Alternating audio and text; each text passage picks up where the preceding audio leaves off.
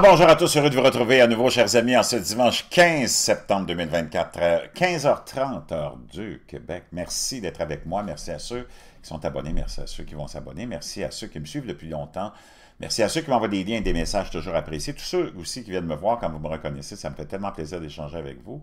Et merci à ceux qui viennent me voir au resto. Chers amis, n'oubliez pas d'appuyer sur, d'écraser le petit pouce en l'air, c'est bon pour la chaîne ça euh, fait monter la chaîne dans les algorithmes, mais n'oubliez pas de commenter aussi. On va s'amuser, on va aller faire un tour, plonger dans la campagne électorale américaine, parce que c'est quelque chose qui est unique. Que t'aimes Donald Trump ou pas, c'est pas vraiment important. De mémoire d'homme, il n'y a pas un phénomène comme celui-là qui a existé, qui existe et qui existera après Donald Trump. Un engouement de la population, un homme politique qui attire des ça c'est par 40, 50, 60 000 qu'on va à ces rallyes. Puis c'est jour après jour, semaine après semaine, les mêmes, les mêmes nombres hallucinants. Barack Obama arrive même pas à la cheville de Donald Trump pour l'attrait et l'engouement, OK? Barack Obama, c'était le président de l'élite, le président de la classe médiatique, de la petite classe élitiste, puis d'experts. C'était pas le président du monde, c'était pas le président du peuple, OK? Puis Kamala Harris, c'est de la fabrication totale, tout ce qui se passe avec elle par nos médias corrompus. Donald Trump attire les foules partout. On va aller voir des trucs ensemble, vous allez tomber sur le dos. Puis on va aller exposer les 25 mensonges que les médias n'ont pas exposés quand il y a eu le fameux débat entre Trump et Kamala Harris à ABC. C'était complètement biaisé. D'ailleurs, il y a un sonneur d'alarme qui est sorti d'ABC qui a dit elle avait eu les questions à l'avance, puis on lui avait assuré qu'on était pour fact-checker Donald Trump. Donc, c'est tout du n'importe quoi. Que tu l'aimes ou pas, c'est pas vraiment important. Il faut que tu reconnaisses que les médias sont corrompus, que les médias sont complètement en faveur de... Depuis quand des médias qui sont là pour te donner de l'information, te renseigner, te donner leur juste, sont là à démoniser un candidat, un parti, puis à juste pousser, pousser pour l'autre. C'est pas, c'est quoi là? C'est de la propagande, ça. C'est pas de l'information. C'est pas normal. C'est vraiment pas normal. On va commencer avec Joe Biden. Lors des commémorations du 11 euh, septembre, il est allé voir, euh, je pense que c'est des, pompiers. En tout cas, c'était, je pense que c'est des pompiers. Puis le gars lui a donné une casquette de Trump, Make America Great Again. Puis Joe Biden l'a porté. On va finir avec un sondage, puis on va aller voir plein de vidéos qui vont te faire sourire. Même si tu n'aimes pas Donald Trump, tu vas sourire. Et euh, un sondage qui donne, un vrai sondage qui donne Donald Trump, ça va être une victoire, tu peux même sans précédent, OK? Sans précédent. Puis il y a plein d'États qui sont en train de tout réglementer les, élections pour s'assurer que ça va être vraiment clean. Parce qu'on le sait, 2020, c'était pas les élections de M. Net. C'était pas vraiment clean. Joe Biden, c'était le président de, du pigeon voyageur de FedEx. OK, on y va, c'est trop drôle. Presidential hat. Presidential seal on it. You going to autograph it? Oh, sure I'll Huh? Yeah. You remember your name? Il dit, veux-tu signer ma casquette? Il dit, te rappelles-tu de ton nom? I don't remember my name, I'm slow. Il dit, non, je me rappelle pas de mon nom, je suis lent. Know, man. I'm an old guy. il dit, il dit t'es un vieux, un vieux pet. Il dit, oui, je sais, je suis un vieil. You're an old I know you would know about that. What? About being old. Oh, I know. All right. I'm a young timer. Huh? You know, he reminds me of the guys I grew up with. There was always one in the neighborhood. well, I'm the only one. There you go, man. Uh, I, got, I, need, I need that hat. You want my autograph? Hell no. you know my name. Come on. I ain't going that far. Yeah, you do a selfie. There you go. Hey, fuck la casquette.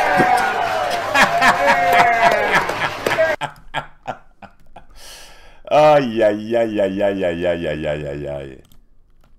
Même en Angleterre, c'est un mouvement international. L'engouement pour Donald Trump, c'est un mouvement international. Moi, j'ai des amis de toutes les nationalités. Je travaille dans la restauration, tu le sais. Tout le monde aime Donald Trump parce que c'est le gars qui te représente. C'est le gars qui parle comme toi. C'est le gars qui parle de tes préoccupations, pas les préoccupations de ceux qui sont dans des tours de Babel vitrés en cristaux dans nos grands centres urbains, qui n'ont rien d'autre à faire que d'observer leur néant.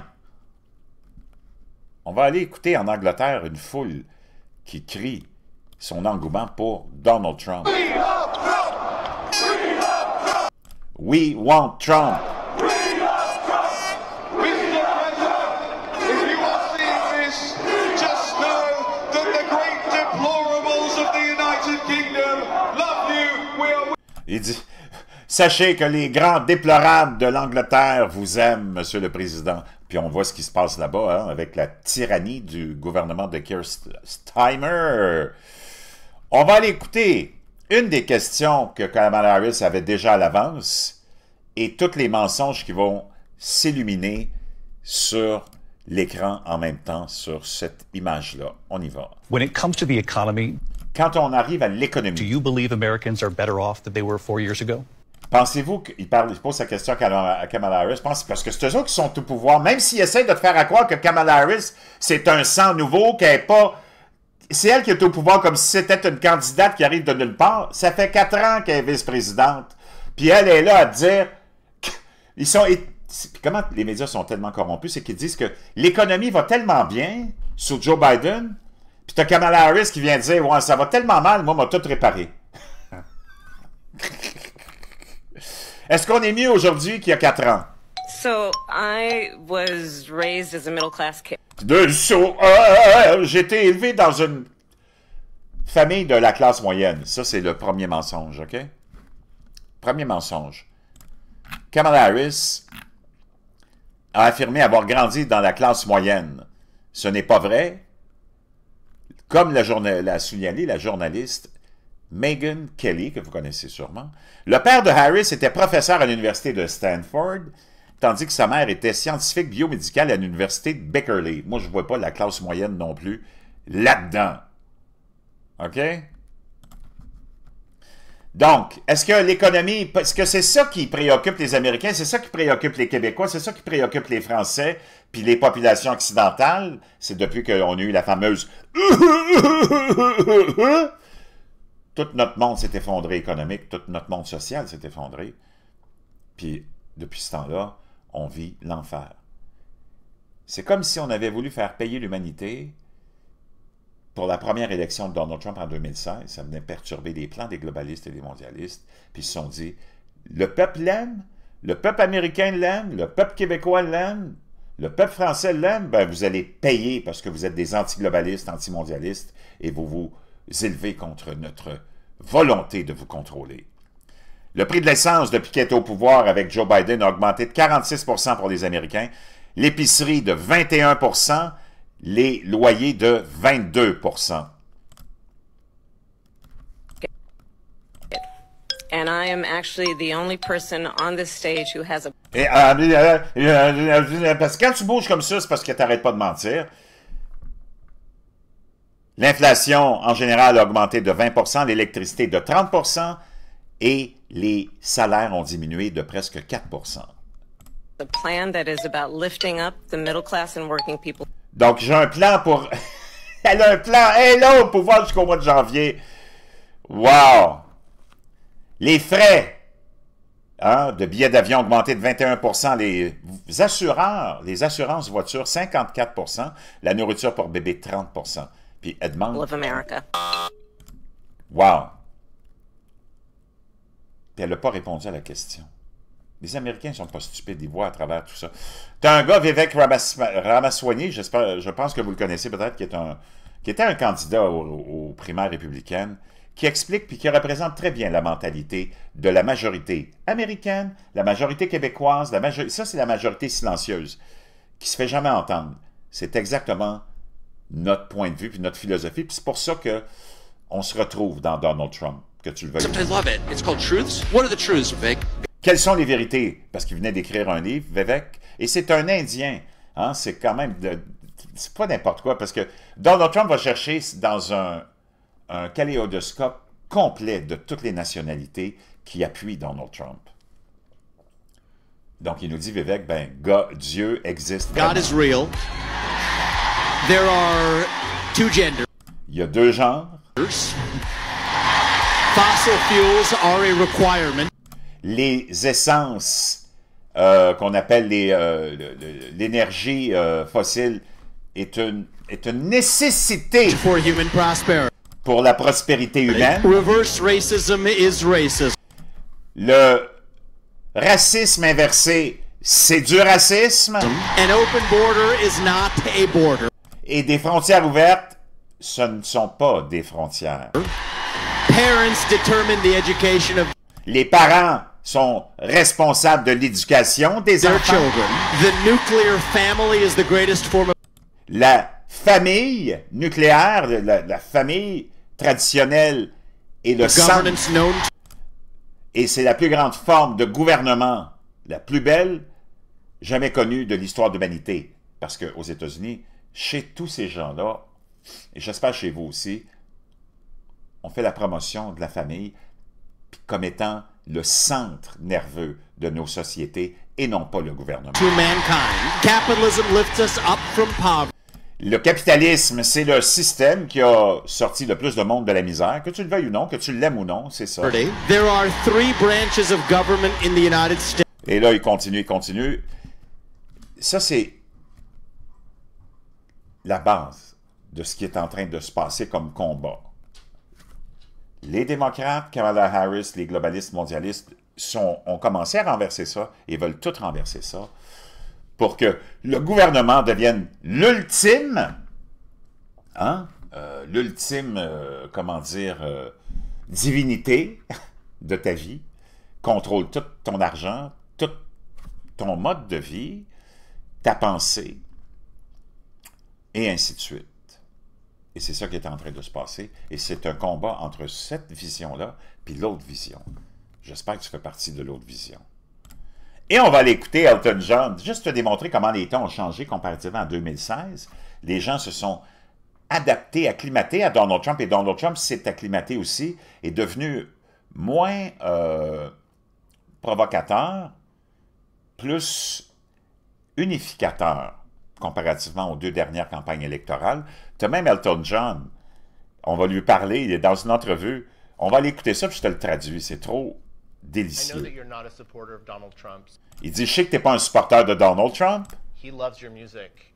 Il aime ta musique. How did it feel when he took the lyrics to Rocket Man and he used it as a nickname for Kim Jong Un, and then he gave Kim Jong Un.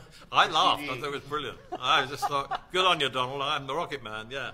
Um, I mean, Donald's always been a fan of mine, and he's been to my concerts many, many times.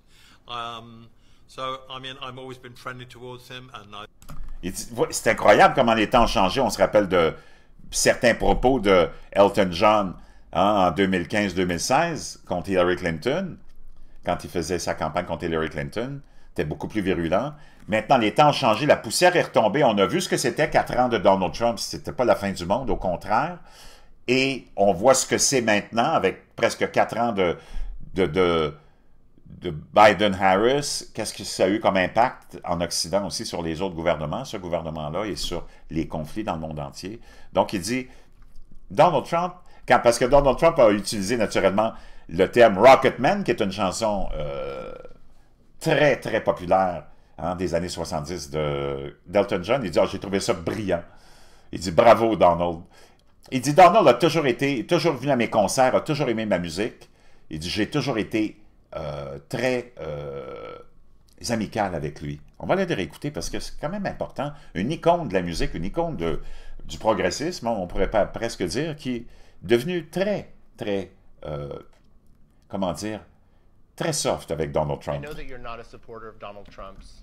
He loves your music. How did it feel when he took the lyrics to Rocket Man and he used it as a nickname for Kim Jong Un, and then he gave Kim Jong Un. I laughed. I thought it was brilliant. I just thought, good on you, Donald. I'm the Rocket Man. Yeah. Um, I mean, Donald's always been a fan of mine, and he's been to my concerts many, many times. Um, so, I mean, I've always been friendly towards him, and I, I, I thank him for his uh, support. Yeah, Il dit, j'ai toujours été très amical et je le remercie pour son support. J'ai trouvé ça hilarant, vraiment très brillant. Donc, euh, c'est ça qui est ça, mes amis. Que tu le veuilles ou non, Donald Trump réussit même à charmer, à charmer Elton John et même Kamala Harris, parce que on sait que Kamala Harris et l'équipe de, ben, c'est son équipe, copie les, euh, le plan économique de Donald Trump et le plan de contrôle des frontières. Maintenant, tellement à un tel point que pendant le débat, Donald Trump a dit Je vais lui envoyer une casquette de MAGA parce qu'elle fait juste me copier. Puis même, et Kamala a été obligée de rire aux éclats. On va l'écouter ça. And Trump, I'll let you respond. First of all, they bought their chips from Taiwan. We hardly make chips anymore because of On fait plus de, de comment on appelle ça, de micropuces, qui dit. On achète tout Taïwan. philosophies like they have and policies like they have. I don't say her because she has no policy. Il dit, leur, leur poli- leur politique économique, ceux de la gauche puis de Biden ou de- des démocrates, elle dit, je parle pas de, de Kamala parce qu'elle n'a pas de politique du tout. Everything that she believed three years ago and four years ago is out the window. Donc, tout ce qu'elle croyait qu'elle avait comme conviction il y a 3-4 ans, elle a tout jeté ça aux poubelles à la- par la fenêtre, puis là, est en train de tout accepter puis promouvoir ma philosophie. She's going to my philosophy now. In fact, I was going to send her a MAGA hat. She's gone to my philosophy. But if she ever got elected, J'étais sur le point de lui envoyer un chapeau, une casquette Make America Great Again. On va terminer avec le fameux sondage qui nous dit que Donald Trump, ça c'est Pew Research qui sont phénoménales. Ça va être une victoire par comme l'effet d'un tsunami.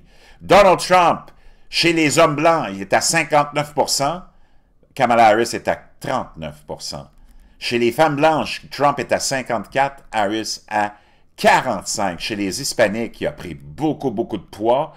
Il a pris énormément de poids. Chez les Afro-Américains, énormément de poids aussi. Même chose chez les Asiatiques et même un peu de vote chez les, euh, Afro, femmes afro-américaines.